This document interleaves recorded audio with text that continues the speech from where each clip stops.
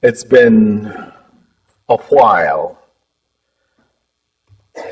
since we, as a congregation, in unison confessed our historical faith.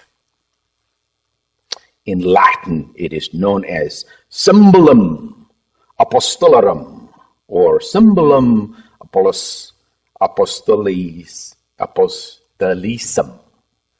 Uh, not that I read Latin all the time, you know. known to us as Apostles' Creed. Church, universal church, have been repeating Apostles' Creed in various forms since 5th century. Think about that. Since 5th century. I believe in God, the Father Almighty, creator of heaven and earth. I believe in Jesus Christ, his only Son, our Lord. That's the statement of faith.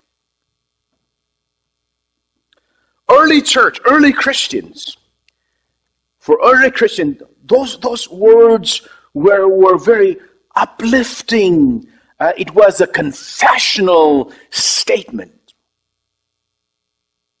It was not just some words, gibberish, religious words, but for them, it was life and death, right? In the early church, making such confession had some consequences. Right? In some countries, even today, making such faith statement would lead you to prison or prosecution or even death. And yet, in spite and despite of all those threats that hung overhead, they still chose to confess. Ah, what we just did is a powerful statement. Yeah, powerful statement. And so today we stand on those shoulders of the faithful ones who understood and witnessed God's redeeming grace. That is what appealed to them. That is what moved them. That is what really enabled them to turn the lives around and recommitted their lives to God, who was in their hearts much bigger than, than themselves, right? Yeah. Mm-hmm. They were unashamed to confess it. Yeah. And so, and so, generations through millennia have recited this historical document. Gives me goosebumps just thinking about it, you know. Yeah.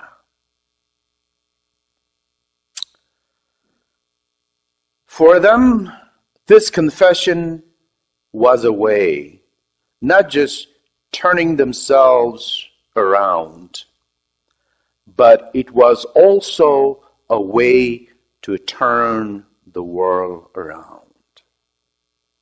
Right? Because transformation what happens deep within our being is not supposed to be an island by itself.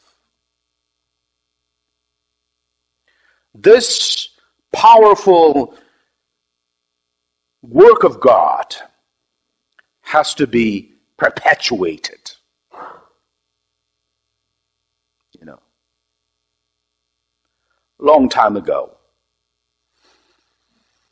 Lausanne World Council of Churches Evangelism Conference was in Sri Lanka. And the Christian leader in Sri Lanka was trying to define evangelism is one beggar asking the other beggar, let's go find food. Do you get that? It's, it's, it's asking Jonah, come, let's go and find God.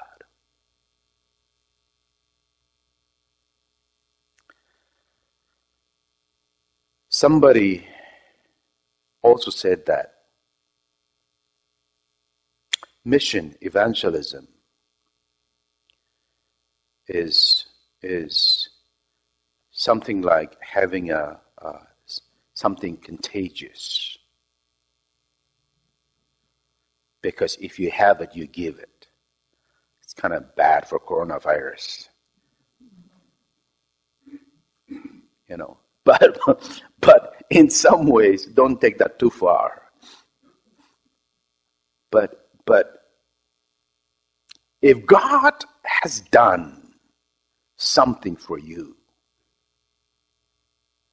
it is better worthy to give it away right how about the samaritan woman you know when when she had an encounter with jesus and jesus said you know if you come to this well, you will come back again. But if you drink the water I give it to you, uh, from within you will flow the springs of living water. You don't have to come back here. And then she was just profoundly amazed. Who are you? And and then um, then then then her life was changed, right? And then uh, and then Jesus talked about you know about her five husbands, right? but it didn't matter, right? And then, and then, and then she was so moved, you know, w- w- with a conversation that he had with, she had with Jesus. What did she do? She went out to her village and shared what God has done for her, right? That is how faith is defined. It has to be something contagious, generously contagious. Ah, interesting, interesting there. So, so um, there is a there is a passage in the book of Isaiah, chapter six. God calls Isaiah for ministry. And uh, Isaiah saw this wonderful vision of God. And then this, this, this vision of God was calling him. He saw these beautiful things, but it was something really uh, too far from him. And so he says, The world I live in is unclean. Isaiah says, It's filthy. And I have filthy mouth. I am no good either. How can I take this gospel to the world? I am not worthy. I am not good enough to represent God. I am not worthy to be a vessel of God to carry this good news to the world. Right? That's what Isaiah says. And then what happens? An angel of the Lord comes with a live charcoal and touches his lips, right? That's Isaiah 6, right? I'm not making up, right? And then that is to say, God purged Isaiah to be a holy vessel unto God to bring the good news of the gospel. Hmm? So, so, so there's this, this life saving, life transforming gospel in the world. One day, this educated Pharisee leader came to see Jesus. He was a private audience with Jesus. It seems like, it seems like the world where Nicodemus came from, he was working for the government. He was a loyal employee of the government. But he was trying to do good. He was trying to bring hope and salvation to people. And when Pilate came, came into power, he was usurping authority with greed. And hope became hopeless. Things weren't really turning around the way he had imagined. In the midst of this struggle to fathom, to understand what's going on, he hears about this Jesus. This Jesus who heals, who, who, who tells parables and, and transforms human lives. He instills in people a deep sense of hope in the midst of all the other unpleasant things that was happening. And so Nicodemus decided, I need to go and see this guy. I need to go and see Jesus. Because my world is falling apart. I need to go and have a private conversation with Jesus and see what he tells me. Well, we don't have the whole conversation or how long they sat there and talked to each other. But basically, Jesus said, we must be born again. There's got to be change in our lives to bring hope into the people, to bring hope in the world. Does it make sense now? Jesus is saying, You're laboring too hard to find God. You are trying all kinds of things to bring hope where there is no hope. But God can bring hope for you and for the people you serve. This hope, God's hope, is the answer for you.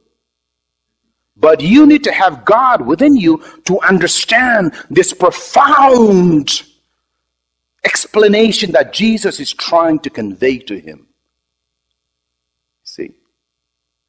This is this is like Jesus said, this is not something earthly can immediately understand.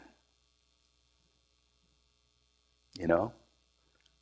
And so Jesus is saying, you need to hear it from heart and allow the Spirit of God to awaken you to understand spiritual matter.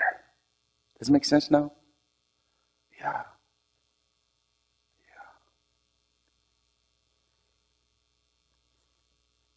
The world needs God. The world, our world, needs faith. And people of faith need to live, practice our faith. Right? If we don't practice, nobody will know. You know, um, faith is not just about being here on Sunday morning, right? I think so. So the question is, when you became Christian, was it something that you had hoped for? Did you get something? Did you experience something that you had imagined from outside looking in? Or you came in and you were disappointed? Is this questions making sense? You know? And and therefore and therefore um, God is saying to Nicodemus, transformation. You need to change your life around. Um, Apostle Paul in Romans 12 explains it better. He says, transformed your mind, right? In Romans 12. The Greek word transformed is metamorpho.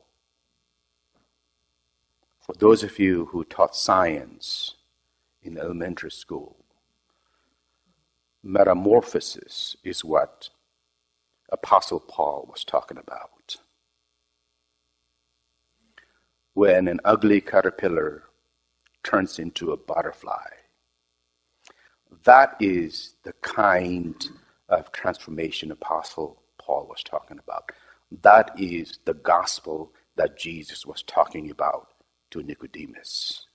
That is the gospel Isaiah was trying to embrace in the Old Testament.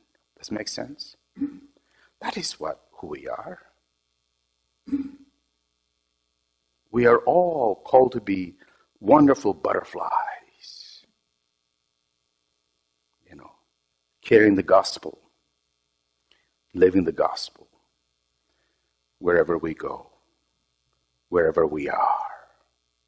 Be being a servant of God.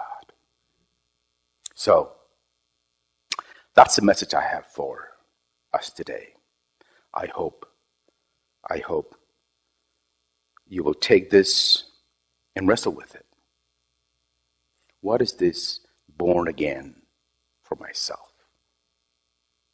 How do I build my spirituality based on this conversation Nicodemus had with Jesus? Amen?